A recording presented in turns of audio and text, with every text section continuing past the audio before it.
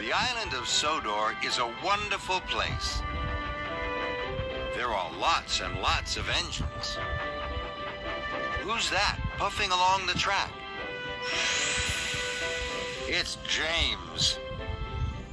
James is a bright red engine. He can pull lots of freight cars. He has the number five painted on his tender, a bright brass dome, and six strong driving wheels that clickety clack along the tracks of Sodor. James is the only red engine, and he is very proud of his red coat. One day, James had a bright new coat of red paint.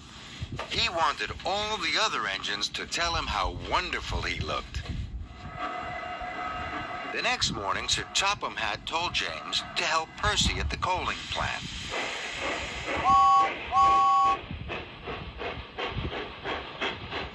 But James went to gaze at his reflection in the canal. At last, James arrived. The yard manager told him to take an extra long line of freight cars to Brendam Docks. James was very happy. There were a lot of people at the docks to tell him how splendid he looked. So James puffed off.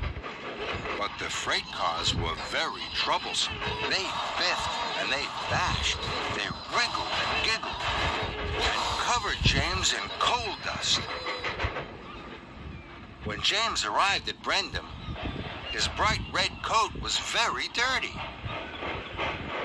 Luckily, James is never too proud to see the funny side, but his pride can get him into a lot of trouble. There was to be a new holiday poster for the island of Sodor.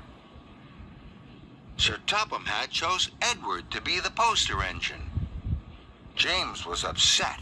He and Edward were almost the same. James decided to do everything he could to be the poster engine. He tried to get into the poster photograph, but Sir Topham Hatt sent him away. Thomas and Percy told James that Edward was chosen because he was gentle.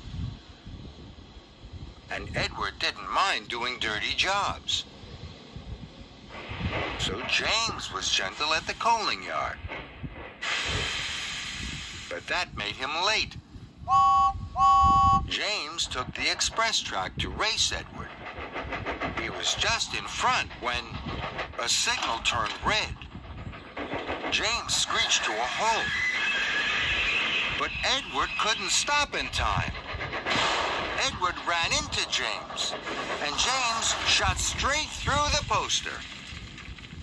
Now James was the poster engine. James knows when he has gone too far, and then he helps his friends. That's because James is a really useful red engine, and he shines most of all when he is with his friends.